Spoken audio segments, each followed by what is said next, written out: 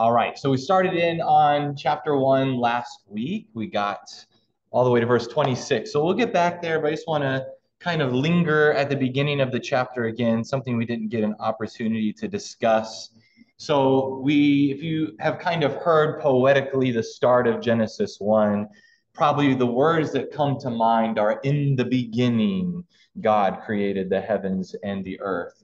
But in recent translations, so the New Revised Standard Version, updated edition, as well as some other recent translations, have started to use when God began to create the heavens and the earth. What difference do you see there?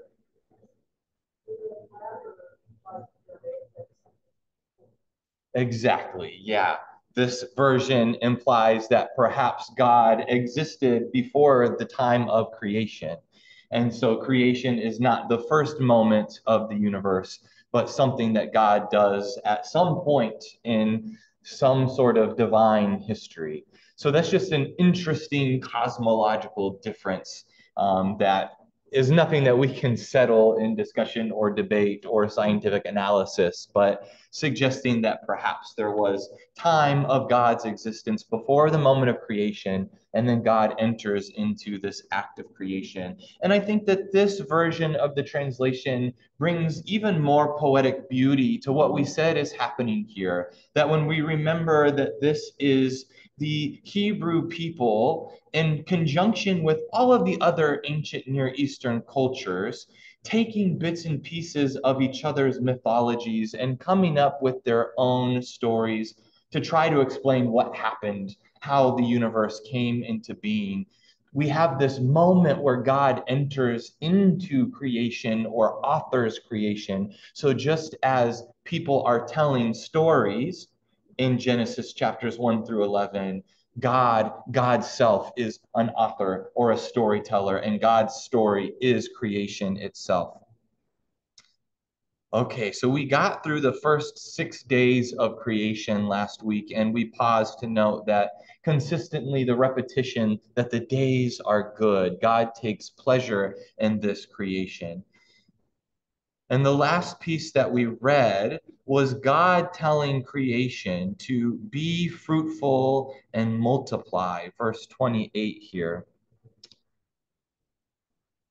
Uh, but in before that, God gives, let's see, ah, the same edict in verse 22 Be fruitful and multiply and fill the waters and the seas and let birds multiply on the earth. So creation is good enough that God wants it to propagate. There is the initial act of creation, but creation itself is invited into the act of creation as well, that we are many creators with the divine image of the creator in us, we continue to create. Now, Shirley you, after class last week, said, let's pause next week and very astutely talk about the ways in which this verse itself has been used um, to, in manipulative ways. The idea of be fruitful and multiply as if, um, thinking of things said by modern day politicians, that propagation of the species is necessary in order to be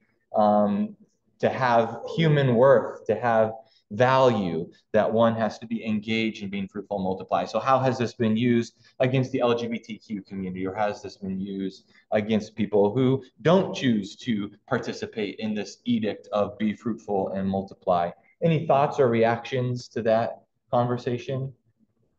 Yeah, Wendy? What is the original text of that word, multiply? Yeah, great question. So if you ever want to do just like really simple word study, um, you can go to a website called Bible Hub, and you can bring up the Hebrew and the English at the same time. And you can look at other times that word is used to kind of get some context. So if you're watching online, let's share that screen instead. Okay. Do, do, do. Yeah, it's a great question. Okay, so it's the only time that verb is used in that form, meaning that part of speech. So that tells us nothing. Okay.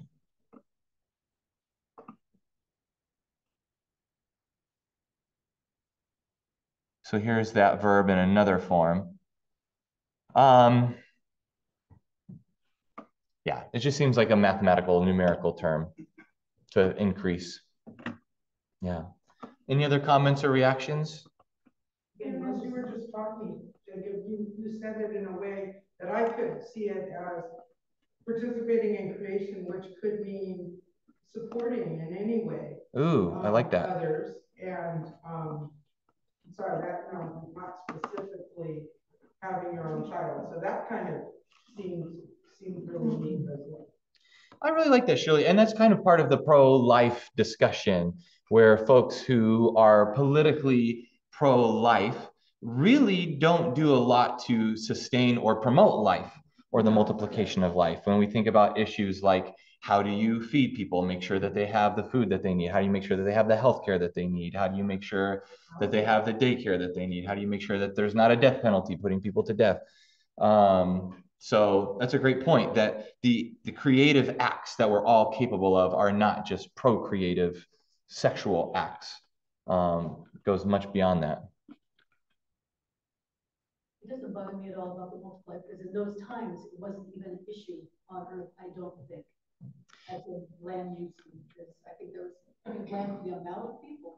Okay, yeah, just saying not a risk of overpopulation. So, yeah, we don't have any policies on how many kids.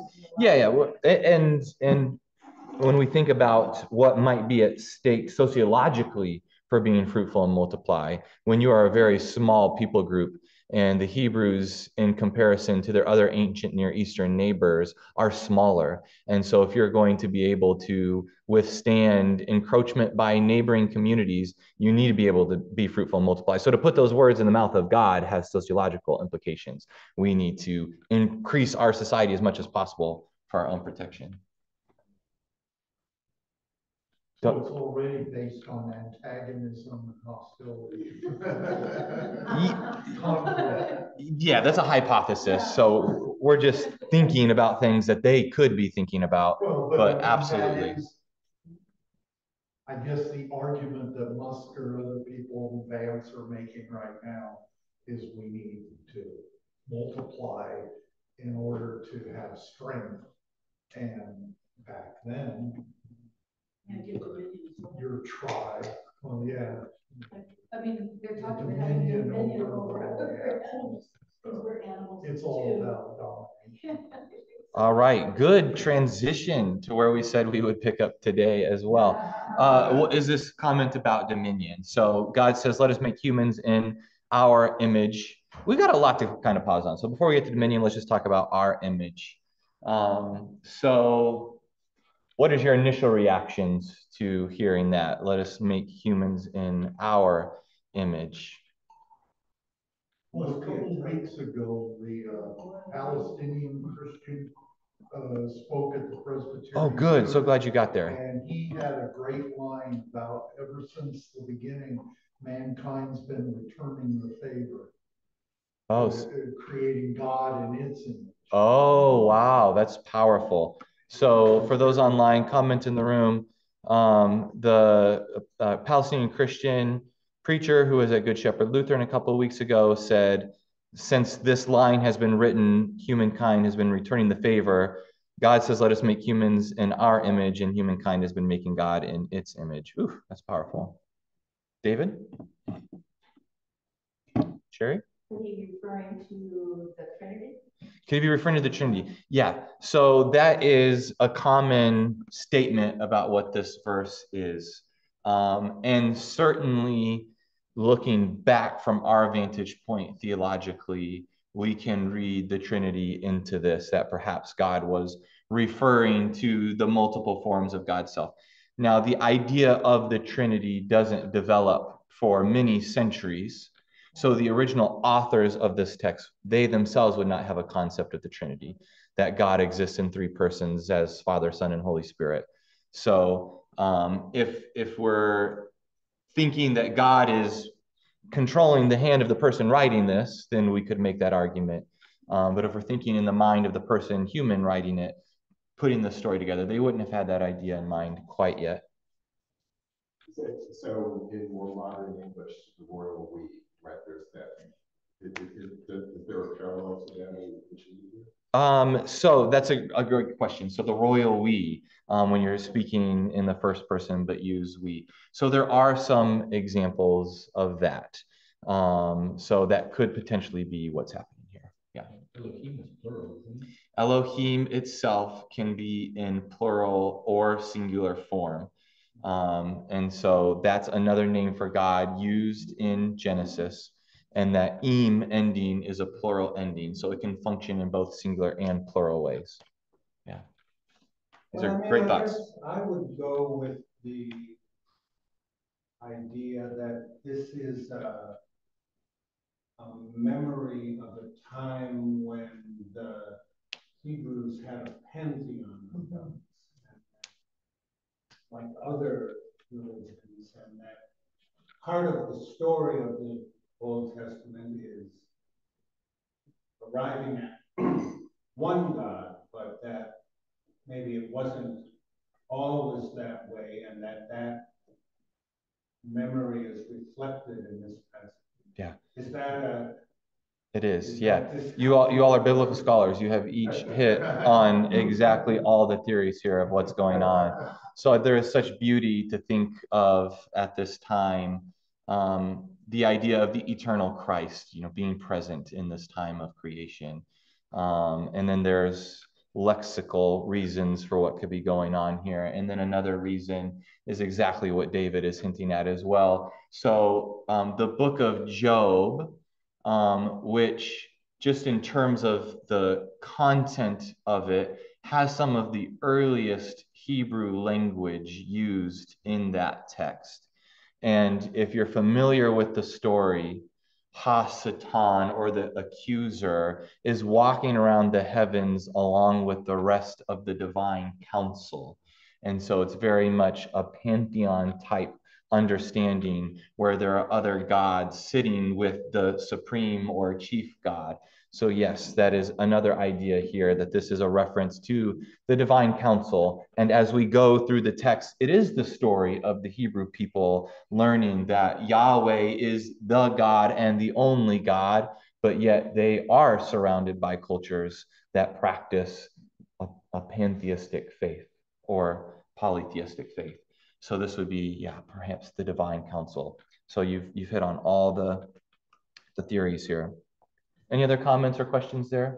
Well, yeah, Shirley? I guess we got to talk about what does it mean to be created in God's image? Mm. And um, I'm not sure, obviously, what it could, it can mean a lot of things, but I think we mean free will, um, some kind of higher thinking, and maybe the right knowledge, sort of an understanding of right and wrong ethics or something. Okay. Seem to be the things that are different than uh, we than the rest of creation, perhaps. Um, but I think it's just ironic that it says that. I mean, it's the first thing in the Bible, and then people have henceforth gone forward and decided some humans are less than others. Mm, mm, mm, mm, Shirley says we should pause and say, what does it mean that we are made in God's image? And you had a really great list. So you said kind of our our rationality, our ability to decipher between right and wrong. What else did you say?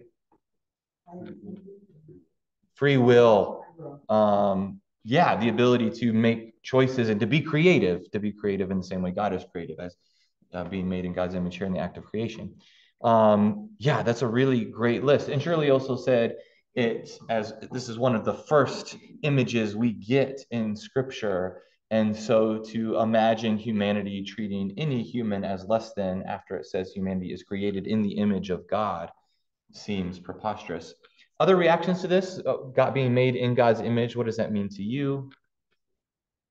What could it have meant to our early authors? Yeah, Donna? I think a lot of people back then maybe were a little more rustic in many ways. And I think a lot of the writing, the gathering of oral language, which became writing, was kind of corralling people into believing that this is a healthier way to live than Hmm. what those other people, atheists or polytheistic people believe. I really think it's a way of, I don't mean corralling them so they can't have their own thoughts, but making them think that there is order really in this chaos. Oh, It's a good way to get people to gather together. Yeah. Um, so Don is saying kind of the sharing of these stories in the old tradition is a way to convince people that there is order to the chaos. There's a better way of life within community, within a relationship with God. That's very astute. Yeah. Yeah, Ben? I think that uh, humanity is so diverse that we have so many different colors and shapes and ways of being uh, that that image cannot be unitary. And to say that Mm. humans are made in the image of God, it means that God is not just able-bodied, you know, if you want to think about it that way, but God is disabled, God is queer and trans, God is all of the different colors, different shape sizes, mental abilities, everything. Yeah, beautiful. So a, a theological observation there, the diversity of humanity suggests the diversity of God, that humanity made in God's image means that that for someone who is disabled to understand God as disabled or queer or trans. Yeah, beautiful. Chris? Jacob, I see there's annotations to the word human. Yeah, it's letting us know, and we'll get into this, um, that the word is Adam. So that's how we get the name Adam. Mm. And the word Adam comes from the Hebrew Adamah, meaning ground. Mm. And so when Adam is created from the Adamah, that's how we're getting that word. This, this will take us slightly back, but maybe forward too. So I was a little bit stuck, we were talking about multiply. And we started to say, oh, so there are people who will be relatively larger others. But there's, there's no other people, right? This is, this story is of the creation of humankind, not the, not the Hebrew people. Right. So that, so maybe potentially in the future, we know the Tower of Babel will happen along with that, and there will be multiple groups, but it seems, it seems like a stretch to say the group will multiply, it's like, so you'd be stronger than, well, there's nobody else, but who'd be stronger than? Yes, yes. So that makes sense. Um, if this is being written at a time in which we're at the beginning of humanity. So the, of course, the folklore is that Moses is writing it, which would have been much later in time. He's the one writing it down. We know it's probably multiple authors. And so stories are being swapped when there is a larger community than just the first humanity. But I think that's a really great observation to say, what are they thinking in terms of the importance of the growth of humanity at, at this time in which the story is taking place? It wouldn't be for growing so you're bigger than local populations. What else could it be for? Well, it could be for the sheer fact that humanity is good in the eyes of God or creation is good in the eyes of God. So that's a really good point that when it's being shared as an oral tradition, there's a bigger community, but they are speaking of a time where they believe there is, or it's the community story of an origin. And so there's other reasons for propagating at that point. Yeah, that's good. Okay. Uh, make uh, made in God's image. We're also going to get the story in Genesis 2 where God breathes into Adam. So we are made in the image of God, and we also have the breath of God or the life of God, the ruach. That's just a Hebrew word we should all know the term for spirit, ruach, which can mean spirit or breath or wind, the very breath or spirit of God is within us. And so there's a lot that can be extrapolated from that theologically. Ben, you were doing some of that work for us. Shirley you were doing that as well to just say that when we have the breath of God within us, when we have the divine in us, then it is um, theologically very powerful to think about that God, we are made in the image of God. And for this to be written by, like you, uh, I'm so sorry. Can you remind me your name? Um, James's dad. Uh, Toby. Toby. Thanks, Toby.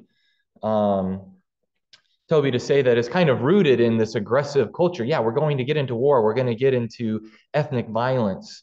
Um, but for this people group to have this story of all of humanity made in God's image as what they're rooted in, as a way towards peace. Um, there's a, a, a real beauty to that. Other comments? Yeah, I go to ahead. say something about the being fruitful and multiplying. Yeah. Um, it seems that, uh, since, since that's like the first mitzvah, the first, you know, command to humans, it would be unreasonable for, you know, really holy, upstanding people to not follow it. hmm Um, and like, especially, I think it's Matthew that talks about how Jesus followed all the laws. It would be not really, wouldn't really add up for him to not have gotten married, and have Mm. kids. And they call him Mm. rabbi, all the rabbis get Mm. married. Uh, it just doesn't really add up to me. Yeah. So Ben's saying, you know, when you, so uh, mitzvah meaning the laws, and they count how many laws there are 613 laws. So Jesus saying he follows all the laws, yet this being one of the mitzvot um, doesn't add up. Yeah. So, yeah, that's good. There was that wedding in Cana that they never really said whose wedding it was. Oh, wedding in Cana. Whose wedding was it? Uh, all right, good, good. I love so many questions on this phrase. So let's get to the other one, dominion, and let them have dominion over the fish of the sea and over the birds of the air and over the cattle and over all the wild animals of the earth. So there are four different Hebrew words used in the first two chapters of Genesis to speak to this concept of dominion or tilling the earth. This one is the one that has the strongest connotation. So once we get into Genesis 2, the words are often used in other places in Hebrew writing in a very subdued kind of gardening, tilling, you know, hoeing the land type of way. This one is the one that has the most force to it. Um, and it speaks mostly of authority, to have authority over something. Reactions to that, the idea that God gives humanity authority over something. I would wrestle with that, actually. You would wrestle with that? Yeah, because dominance, that is God. And if he's giving you dominion, isn't he giving you a godlike power? Okay, so thinking of the, the Latin, yeah, yeah. But it's now in English, a lot more um, military. So now in English, it feels like a military type of word, but origins in God's authority. So you're spot on there. So maybe we could have some reactions to what it means that God has authority and then gives authority. Yeah, Toby? Well, it all seems sort of like after the fact justification or rationalization for the way you want to behave. Okay, okay, yeah. Meaning people read this word and they rationalize into the word how they want to you're- behave. You're, you're creating God in your image in a way to justify your actions. Hmm. You know, it's, uh, Creating God. Okay, that's okay. Both of these comments are, are, are And I mean, you can see it as God's letting me do whatever I want, or you could see it like, you know, God is handing the keys to the car to the teenager and saying, well, if I'm going to have this child, and have this human that's going to be this, you know, creative and everything, there, there's risk, but I'm going to take the risk. Yeah. So Shirley saying, um, speaking of this word dominion, we could look at it as control or force, or the analogy she uses is parents giving the keys to the car over to their child and saying, my authority now, I'm giving you the authority to drive this car and make your own choices, even if there's risks involved. Wow, that was good. Bob, That's why I've always wanted that word to be responsibility. you've always wanted the word to mean responsibility. I Yeah. I was gonna say that too, that it seems like authority, like, that responsibility goes right with that. And I know that fall hasn't happened yet, that's chapter, the next chapter, but it's like, it's so human to say, well, I just want the authority part and forget the responsibility. Ooh. Wow. Kevin's saying, you know, the fall hasn't happened yet, but it seems so human to say, I want the authority without the responsibility. Wow. Yeah. So we want this to mean responsibility. And I think we can get there while being honest to the text, being honest to this word, meaning authority.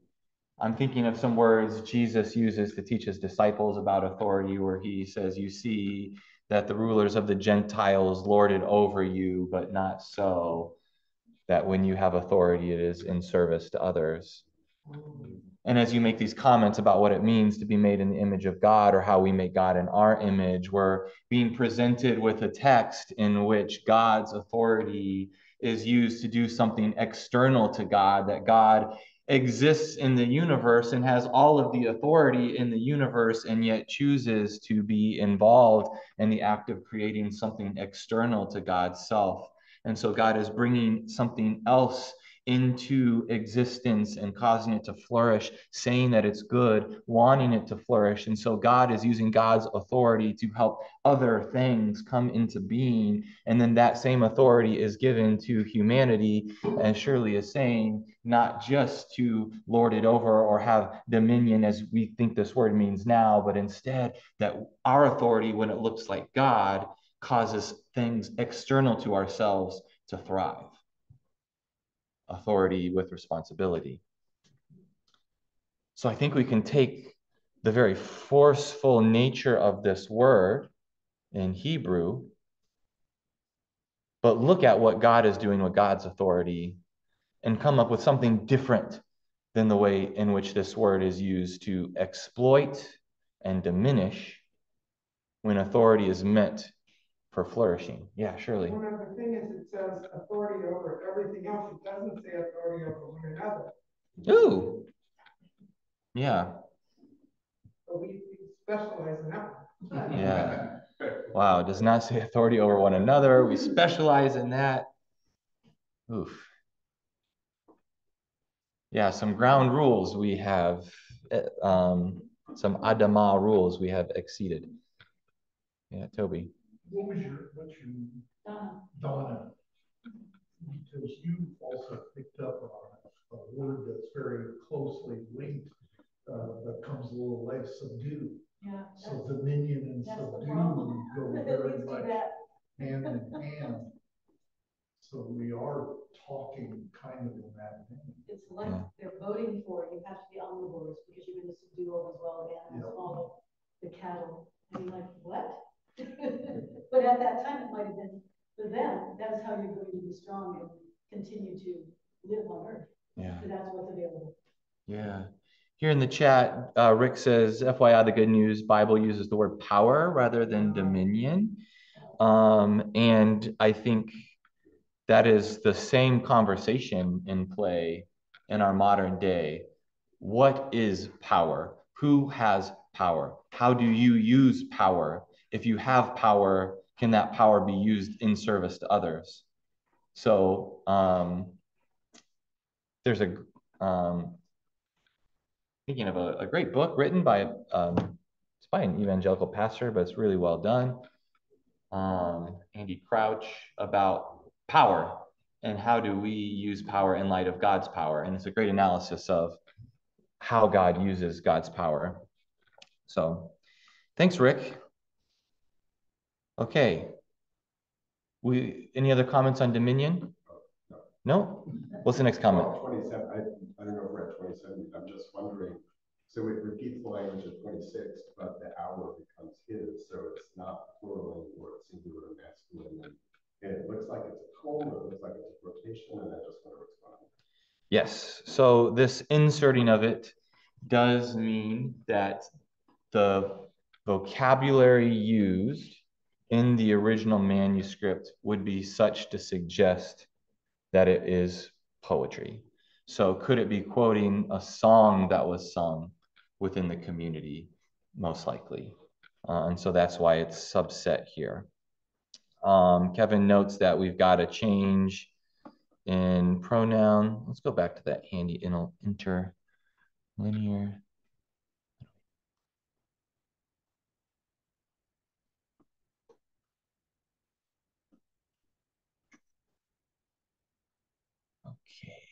Okay, verse 27. So God, and we got the Elohim here.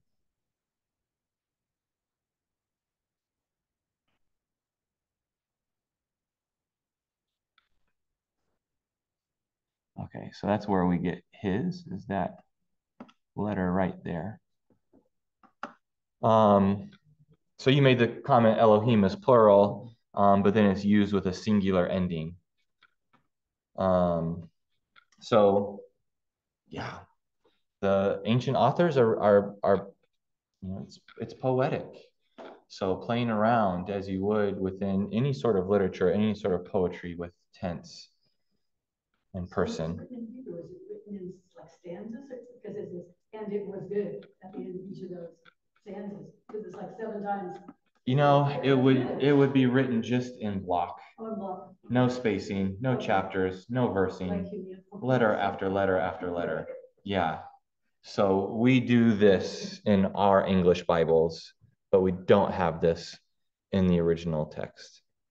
So they would have done this to just say, like, based on our scholarly analysis, we think that they were quoting a, a song here, but no idea for sure. Okay, all right. Anything else? So let's just wrap up this chapter. God blessed them, and God said to them, Be fruitful, multiply, and fill the earth, and subdue it, and have dominion over the fish of the sea, and over the birds of the air, and over every living thing that moves upon the earth. God said, See, I have given you every plant yielding seed that is upon the face of all the earth, and every tree with seed in its fruit, you shall have them for food. And to every beast of the earth, and to every bird of the air, and to everything that creeps on the earth, everything that has the breath of life, I have given every green plant for food. And it was so. God saw everything that he had made, and indeed it was very good. And there was evening, and there was morning the sixth day. It's kind of setting up the problem of the commons here, too. The food, the trees are meant for food. So if you subdue it in a way that you over harvest and destroy the ground, then you are only causing more problems for yourself by virtue of not having food anymore. As I'm sure you're well aware, it's also, there are no carnivores. No carnivores. We are not, yeah, we're not told that to eat the animals. Yeah. So, um, in preparation for a lesson, I found out that half of the living things on earth are insects. Hmm. Yeah, isn't that funny? So Wendy's saying in preparing for a lesson, discover that half of the living things on earth are insects. And I think it's like, this is just, I need to fact check myself, but it's like some absurdly high percentage of species that have ever existed are extinct now, because most of them are also insects that we don't have around anymore. And a lot of them have been showing up in my kitchen. A lot of them are in your kitchen. Half of, half of the half of the species of the earth have been in your kitchen. Yeah. Yeah. Um, I don't know if people have listened to podcasts on eradicating mosquitoes and just how complicated that is because of how important mosquitoes are for the greater ecosystem. Yeah. I was gonna ask if this, kind of to Kevin's point, a thing in twenty-nine about the trees and the seed-bearing plants being our food. Um, is that where like Seventh-day Adventists and uh, like Rastafarians get the the prescription for a vegetarian diet? Yes, absolutely. Um, and so, kind of the idea of trying to get back to creation, Eden. And so that, that would be the theological undergirding for it is a return to this Edenic paradise. Yeah.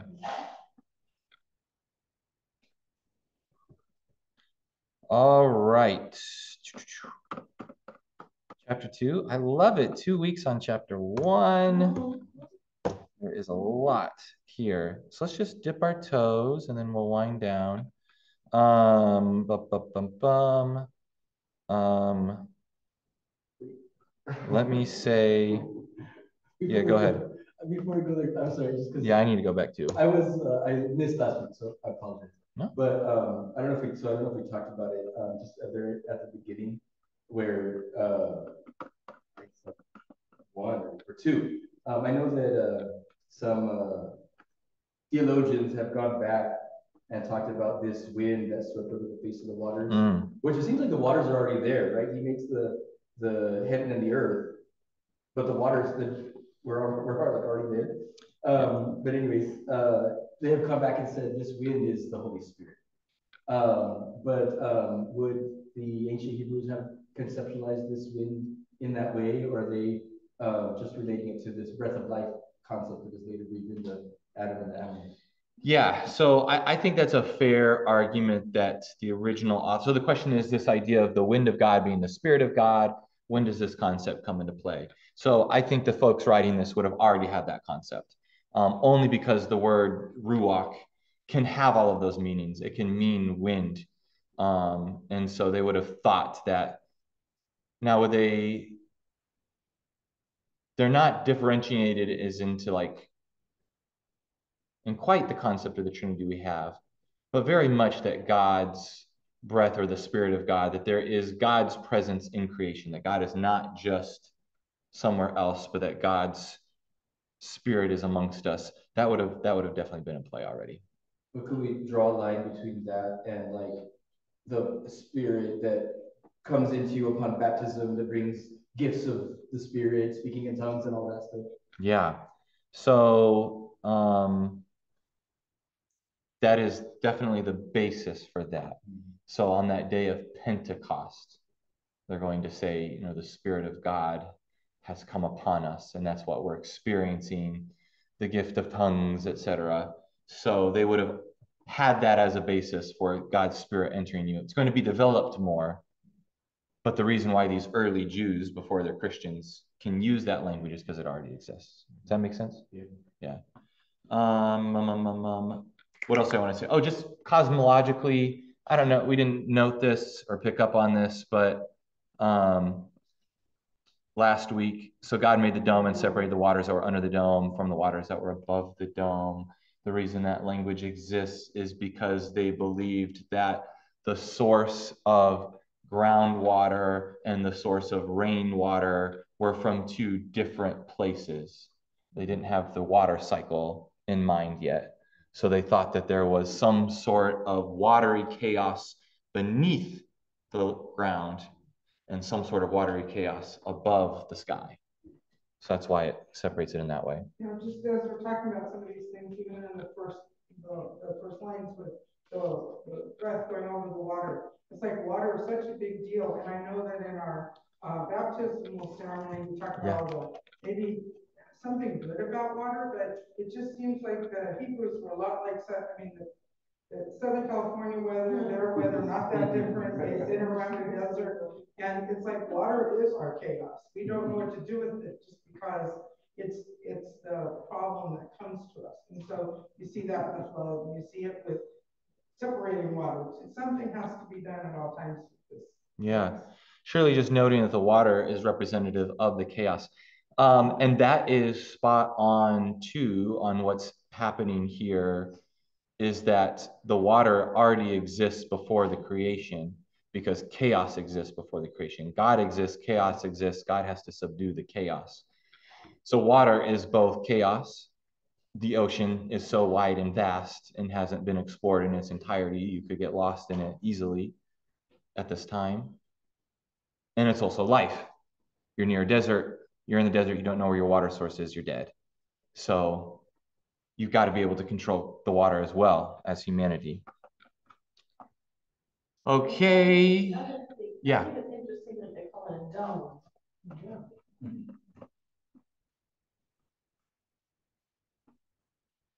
Wendy says it's interesting that they call it a dome. It is.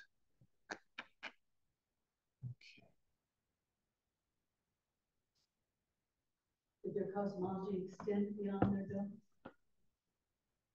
Maybe that's how you create the idea of mm. you don't know what's beyond it.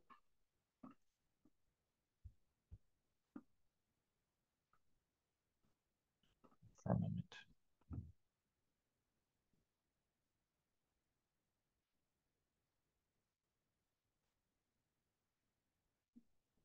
Yeah. Um, and that may be a way to help us understand kind of the shape of what they're understanding by using that word dome. Yeah. yeah. I saw reference to that as a hard shell. That Hebrew word? Yeah.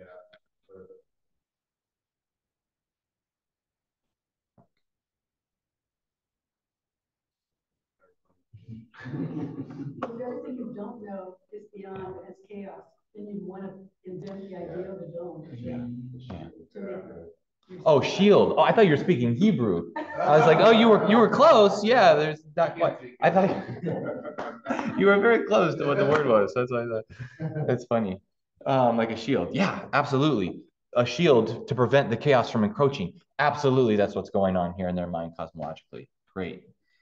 Um, okay. In the story of Gilgamesh, also the idea of finite of a dome. I don't remember because I did not read Gilgamesh, but I read about Gilgamesh. Yeah, there so um, there's another text called the Enuma Elish, in which an evil god is torn apart, and the two halves are the two halves of the dome. Um, so there's other there's other dome language Okay. in the ancient Near East. The spirit of God fighting off something that is just finite. Maybe that's doable when you're talking to humans about. Yeah, yeah. Thanks, Donna. Um, okay, uh, last thing, sixth day of creation is very good. It's different language than just good. What happens on the sixth day is very good. So very good, we're going to extrapolate on it. So when we get into chapter two next week, what we will do to begin with is we'll read a little bit of chapter two and ask for your observations on what you see as the differences between chapter two and chapter one. Because what we're getting is a second creation text. And so we'll want to see what you note on what differences there might be. All right, let me close this with a word of prayer.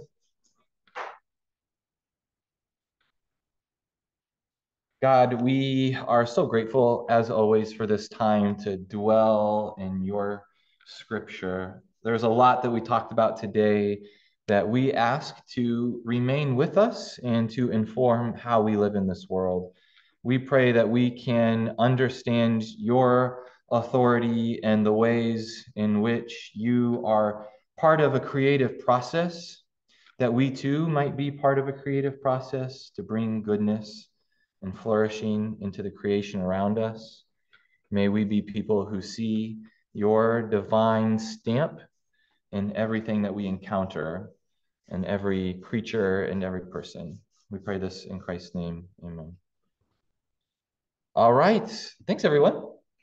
See you in worship.